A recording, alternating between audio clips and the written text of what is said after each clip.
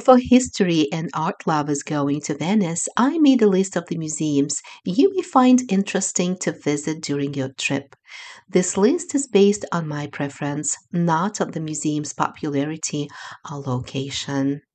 Number one on my list is the Bovolo Tower beautiful place, but it's not very popular with the tourists. And most of the time when we come here, there's nobody, which I cannot complain about because I don't like any crowds on, around me. Um, it's very close to San Marco Square, and it's 115 steps to get up to the top of, uh, of the tower. Love this place. Come and visit. The full name of the tower is Scala Contarini del Bovolo. Bovolo means snail. It refers to the spiral shape of the staircase. Contarini is the name of the family who lived in Venice 500 years ago. The architect who built this tower in the early 15th century was a member of the Contarini family.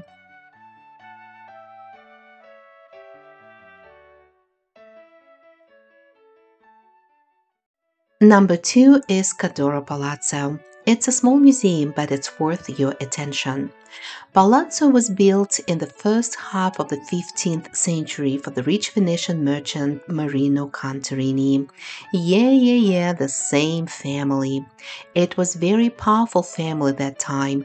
It provided Venice with eight doges, eight rulers. Uh, from the Palazzo courtyard, the main staircase will take you to the second floor, to the art exposition, and to the open terrace.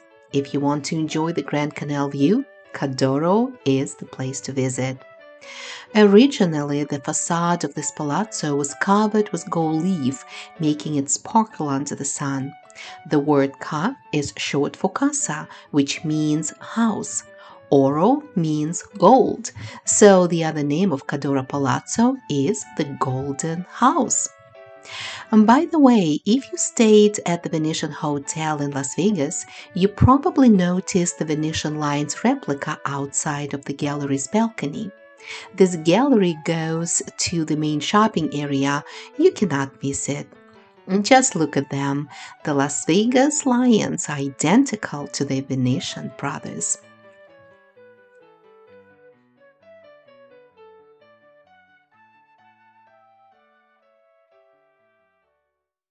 Number 3. Ca' Rezzonico.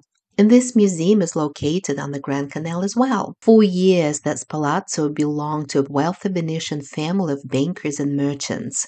In 1935, the city of Venice bought that palazzo and turned it into a museum. The museum is huge. It's impossible to cover all the beautiful artifacts in one video. Hopefully, you will visit Venice soon and you will see everything with your own eyes. One of the main treasures of the museum exposition is the famous sculpture of a veiled girl. What technology, what tools did the sculptor use? Even today, nobody can recreate his works. The secret is gone was the master, Antonio Corradini, a Venetian sculptor who died in 1752. If you like Greek myths, do not miss the sculpture of Medusa, a woman with the mane of serpents. It's one of my favorite Greek myths. It says that the girl Medusa was born with beautiful face. When she grew up, she fell in love with Poseidon, the Greek sea god. Poseidon couldn't resist the girl's love.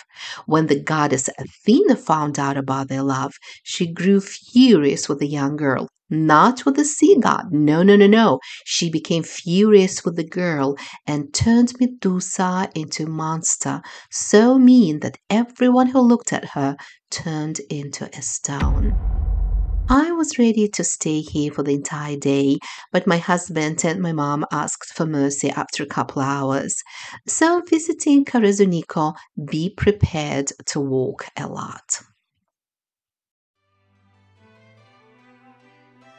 Scuole Grande di San Rocco is number 4. It's a small museum with a long history. At the beginning of the 15th century, there were various types of brotherhoods, scuole, in Venice. They played an important part in religious life and charitable works of the city. Their members came from the middle class. Patricians could be members only if they renounced any position in the government. The Scuola di San Rocco began in 1478. It took its name after San Rocco, the patron saint of plague victims. The deep veneration for this saint and generous donations made the Sculi one of the richest brotherhoods in Venice.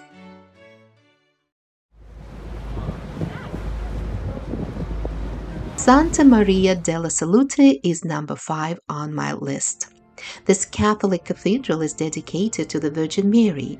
It was built to celebrate the liberation of Venice from a deadly plague. The plague lasted from 1576 through 1577. It killed over 50,000 Venetians, almost a third of population.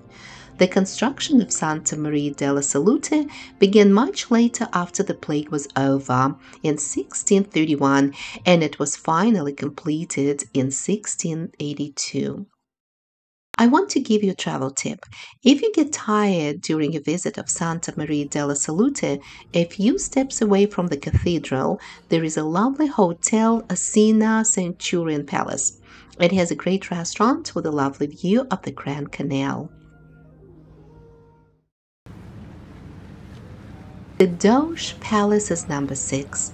We decided to go to visit the Doge Palace and the Saint, aha, the Saint Marco Cathedral because it's raining and it's still so much to see. I'm so excited. The Doge Palace is the most famous place in Venice. I'm not going into the details of the palace's art collection because it's simply impossible to cover it. Do not hesitate to have a private excursion around the Doge Palace and the palace dungeons to get a better impression of the time when Venice was a republic. I worked as a tour guide myself, and it's rather hard to impress me with any historical information, but I should admit that the young lady, a guide from the Doge Palace, succeeded.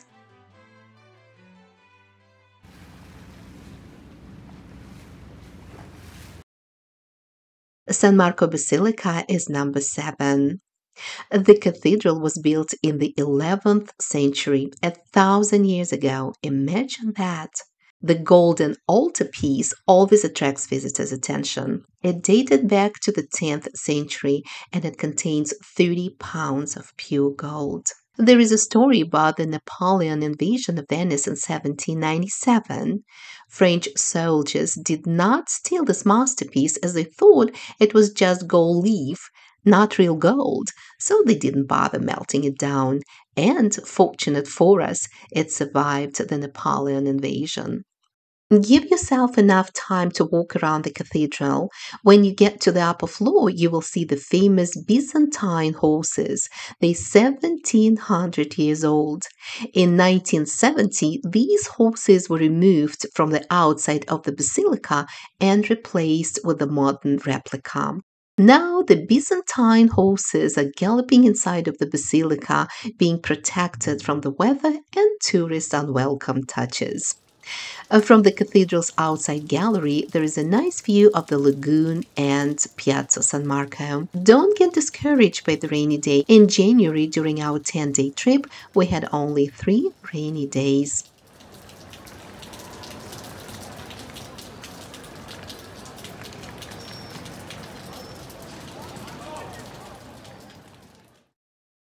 8. The Correr Museum.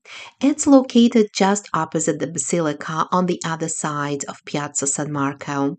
It contains collections of paintings, books, sculptures, and numerous aspects of Venetian history.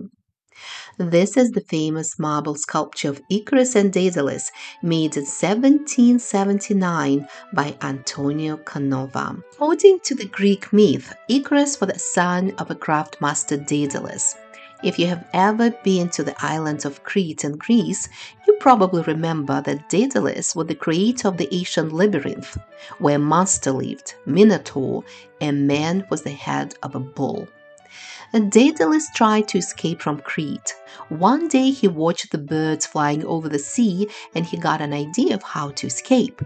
He made two sets of feathered wings and glued them together with wax. He warned his little son not to fly too high because the sun's rays would melt the wax. Icarus ignored his dad's warnings. He flew too high and the wax melted. The boy fell down into the sea to his death.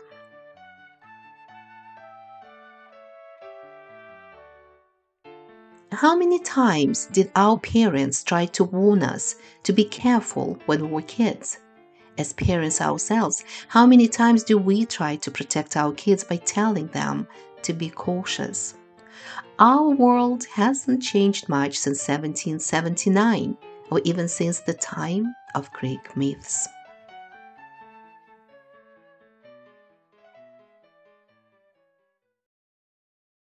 Number nine is Venice itself. Venice can be named a museum under the open sky. Almost every house, every church, every bridge has its own fascinating story. Let me tell you one of them the romantic story about the heart of Melusine.